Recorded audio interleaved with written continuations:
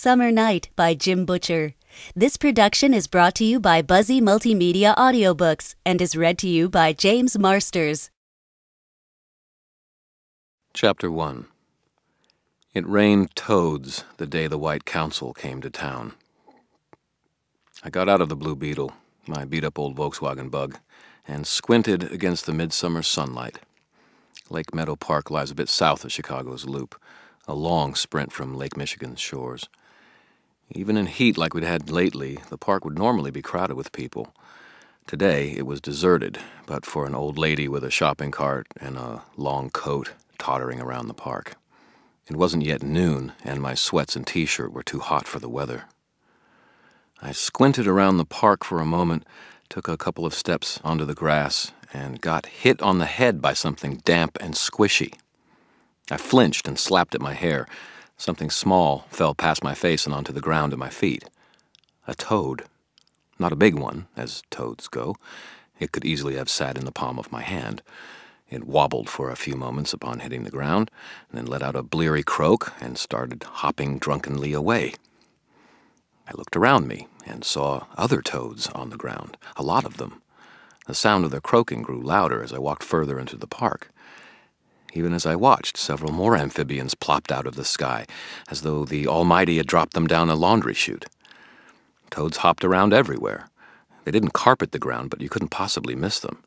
Every moment or so, you could hear the thump of another one landing. Their croaking sounded vaguely like the speech chatter of a crowded room. Weird, huh? said an eager voice. I looked up to see a short young man with broad shoulders and a confident walk coming towards me. Billy the werewolf, wore sweatpants and a plain dark t shirt. A year or two ago, the outfit would have concealed the 40 or 50 extra pounds he'd been carrying. Now they concealed all the muscle he'd traded it in for. He stuck out his hand, smiling. What did I tell you, Harry? Billy, I responded. He crunched down hard as I shook his hand, or maybe he was just that much stronger. How's the werewolf biz? Getting interesting, he said. We've run into a lot of odd things lately when we've been out patrolling, like this. He gestured around the park. Another toad fell from the sky several feet away. That's why we call the wizard. Patrolling? Holy vigilantes, Batman. Any of the normals been here? No, except for some meteorological guys from the university. They said they're having tornadoes in Louisiana or something, that the storms must have thrown the toads here. I snorted. You'd think its magic would be easier to swallow than that. Billy grinned. Don't worry. I'm sure someone will come along and declare it a hoax before long. Uh huh. I turned back to the Beetle and popped the hood to rummage around the forward storage compartment. I came out with a nylon backpack and dragged a couple of small cloth sacks out of it. I threw one to Billy. Grab a couple of toads and pitch them in here for me. He caught the bag and frowned. Why? So I can make sure they're real. Billy lifted his eyebrows. You think they're not? I squinted at him. Look, Billy, just do it. I haven't slept. I can't remember the last time I had a hot meal, and I got a lot to do before tonight. But why wouldn't they be real? They look real. I blew out a breath and tried to keep my temper. It had been short lately. They could look real and feel real, but it's possible they're just constructs, made out of the material of the Never Never and animated by magic. I hope they are. Why? Because all that would mean is that some fairy got bored and played a trick. They do that sometimes. Okay, but if they're real? If they're real, it means something is out of whack. What kind of out of whack? The serious kind. Holes in the fabric of reality. And that would be bad? I eyed him. Yeah, Billy, that would be bad. It would mean something big is going down. But what if. My temper flared. I don't have time or inclination to teach class today. Shut the hell up. He lifted a hand in a pacifying gesture. Okay, man, whatever. He fell into step beside me and started picking up toads as we walked across the park. So, um, it's good to see you, Harry. Me and the gang were wondering if you wanted to come by this weekend, do some socializing. I scooped up a toad of my own and eyed him dubiously. Doing what? He grinned at me. Playing Arcanos, man. The campaign's getting really fun. Role playing games. I made a monosyllabic sound. The old lady with the shopping cart wandered past us, the wheels of the cart squeaking and wobbling. Seriously, it's great, he insisted. We're storming the fortress of Lord Malachio, except we have to do it in disguise in the dead of night so that the Council of Truth won't know who the vigilantes who brought them down here were. There's spells and demons and dragons and everything. Interested? Sounds too much like work. Billy let out a snort. Harry, look, I know this whole vampire war thing has you jumpy and grouchy, but you've been lurking in your basement way too much lately. What vampire war? Billy rolled his eyes. Word gets around, Harry. I know that the Red Court of the Vampires declared war on the wizards after you burned down Bianca's place last fall. I know that they tried to kill you a couple of times since then. I even know that the Wizards' White Council is coming to town sometime soon to figure out what to do. I glowered at him. What White Council? He sighed. It's not a good time for you to be turning into a hermit, Harry. I mean, look at you. When was the last time you shaved? had a shower, a haircut, go out to do your laundry. I lifted a hand and scratched at the wiry growth of beard at my face. I've been out. I've been out plenty of times. Billy staggered. Billy snagged another toad. Like when? I went to that football game with you and the Alphas. He snorted. Yeah, in January, Dresden. It's June. Billy glanced up at my face and frowned. People are worried about you. I mean, I know you've been working on some project or something, but this whole unwashed wild man look just isn't you. I stopped and grabbed a toad. I don't know what you're talking about. I know better than you think, he said. It's about Susan, right? Something happened to her last fall. Something you're trying to undo. Maybe something the vampires did. That's why she left town. I closed my eyes and tried not to crush the toad in my hand. Dropped the subject. Billy planted his feet and thrust his chin out at me. No, Harry. Damn it, you vanish from the face of the earth. You hardly show up at your office, won't answer your phone, don't often answer your door. We're your friends, and we're worried about you. I'm fine, I said. You're a lousy liar. Word is that the Reds are bringing more muscle into town, that they're offering their groupies full vampirehood if one of them brings you down. Hell's bells, I muttered. My head started to ache. It isn't a good time for you to be outside by yourself, even during daylight. I don't need a babysitter, Billy. Harry, I know you better than most. I know you can do stuff that other people can't, but that doesn't make you Superman. Everybody needs help sometimes. Not me, not now. I stuffed the toad into my sack and picked up another. I don't have time for it. Oh, that reminds me. Billy drew a folded piece of paper out of the pocket of his sweats and read it. You've got an appointment with the client at three. I blinked at him. What? I dropped by your office and checked your messages. Uh, Miss Somerset was trying to reach you, so I called her and set up an appointment for you. I felt my temper rising again. You did what? His expression turned annoyed. I checked your mail, too. The landlord for the office dropped off your eviction notice. If you don't have him paid off in a week, he's booting you out. What the hell gives you the right to go poking around my office, Billy? Or calling my clients? He took a step in front of me, glaring. I had to focus on his nose to avoid the risk of looking at his eyes. Get off the high horse, Harry. I'm your freaking friend. You've been spending all your time hiding in your apartment. You should be happy I'm helping you save your business. You're damn right it's my business, I spat. The shopping cart lady circled past in my peripheral vision, cartwheels squeaking as she walked behind me. Mine, as in none of yours. He thrust out his jaw. Fine.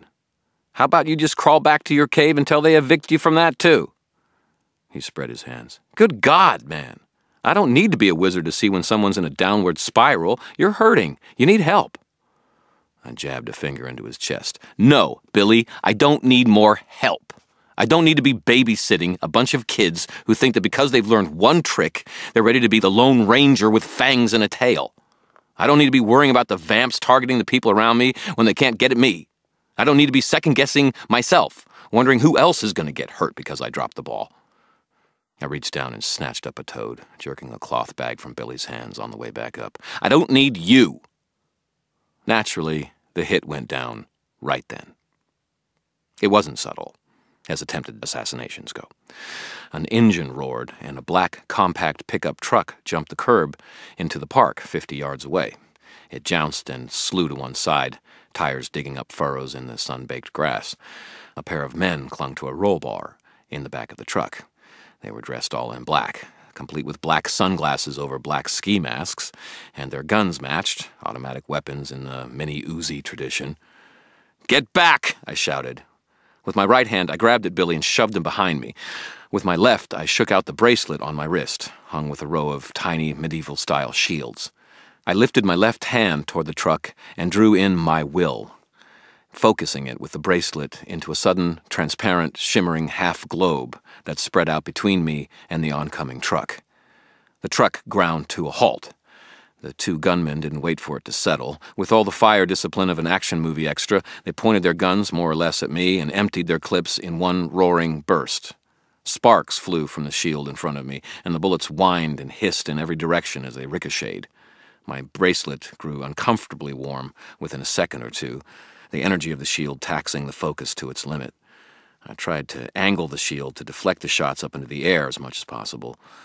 God only knew where all those bullets were going. I just hoped that they wouldn't bounce through a nearby car or some other passerby. The guns clicked empty.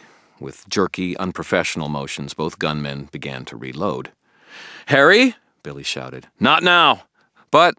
I lowered the shield and lifted my right hand, the side that projects energy. The silver ring I wore on my index finger had been enchanted to save back a little kinetic energy whenever my arm moved. I hadn't used the ring in months. It had a whale of a kick to it, one I hardly dared to use on the gunmen. That much force could kill one of them, and that would be basically the same as letting them fill me full of bullets. It would just take a little longer to set in. The White Council did not take kindly to anyone violating the first law of magic thou shalt not kill. I'd slipped it once on a technicality, but it wouldn't happen again. I gritted my teeth, focused my shot just to one side of the gunman, and triggered the ring. Raw force, unseen but tangible, lashed through the air and caught the first gunman with a glancing blow across his upper body.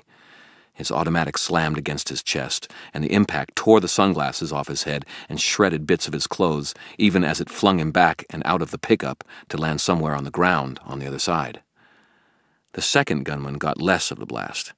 What did hit him struck against his shoulder and head. He held on to his gun but lost the sunglasses, and they took the ski mask with them, revealing him to be a plain looking boy who couldn't have been old enough to vote. He blinked against the sudden light and then resumed his fumbling reload. Kids, I snarled, lifting my shield again. They're sending kids after me. Hell's bells. And then something made the hairs on the back of my neck try to lift me off the ground. As the kid with the gun started shooting again, I glanced back over my shoulder. The old lady with her shopping basket had stopped maybe 15 feet behind me. I saw now that she wasn't as old as I had thought. I caught a flicker of cool, dark eyes beneath age makeup.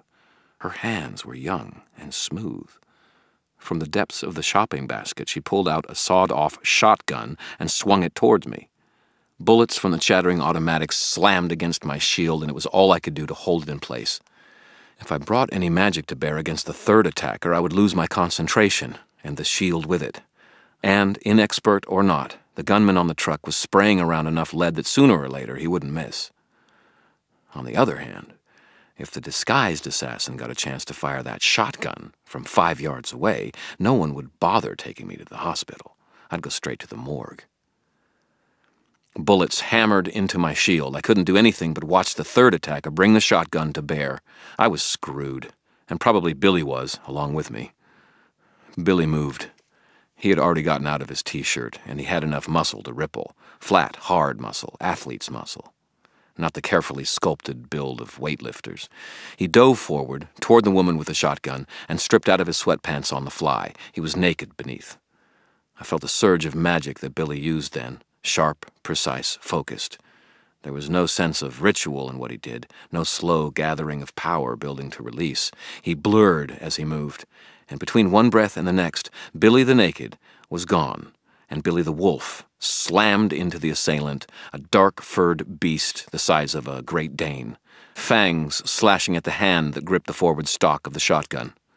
The woman cried out, jerking her hand back, scarlet blood on her fingers, and swept the gun at Billy like a club. He twisted and caught the blow on his shoulders, a snarl exploding from him. He went after the woman's other hand, faster than I could easily see, and the shotgun tumbled to the ground. The woman screamed again and drew back her hand. She wasn't human. Her hands distended, lengthening, as did her shoulders and her jaw. Her nails became ugly, ragged talons, and she raked them down at Billy, striking him across the jaw, this time eliciting a pained yelp mixed with a snarl. He rolled to one side and came up on his feet, circling in order to force the woman things back to me. The gunman in the truck clicked on empty again. I dropped the shield and hurled myself forward, diving to grip the shotgun. I came up with it and shouted, Billy, move! The wolf darted to one side, and the woman whipped around to face me, her distorted features furious, mouth drooling around tusk like fangs.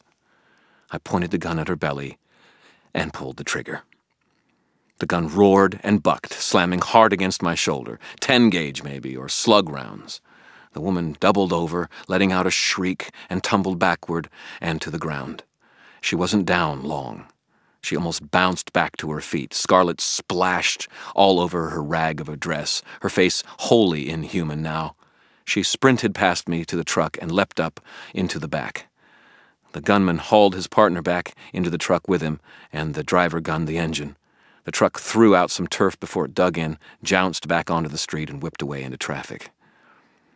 I stared after it for a second, panting. I lowered the shotgun, realizing as I did that I had somehow managed to keep hold of the toad I had picked up in my left hand.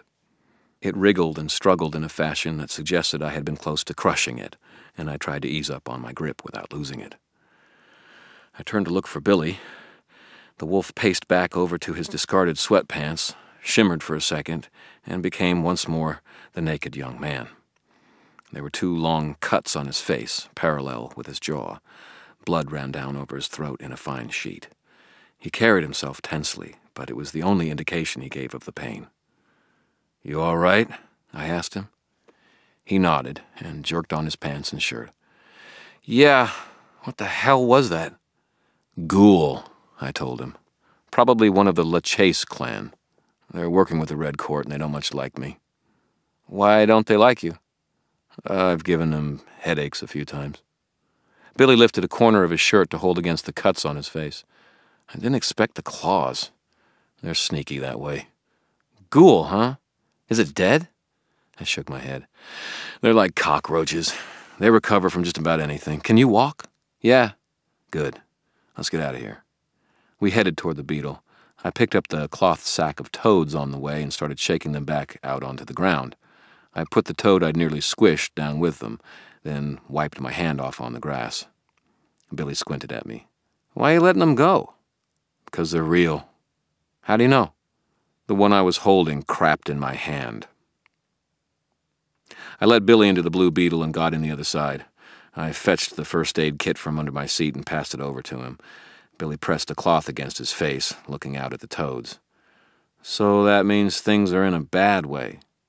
Yeah, I confirmed. Things are in a bad way. I was silent for a minute. Then I said, You saved my life. He shrugged. He didn't look at me. So you set up the appointment for three o'clock, right? What was the name? Somerset? He glanced at me and kept the smile from his mouth, but not from his eyes. Yeah. I scratched at my beard and nodded. I've been distracted lately.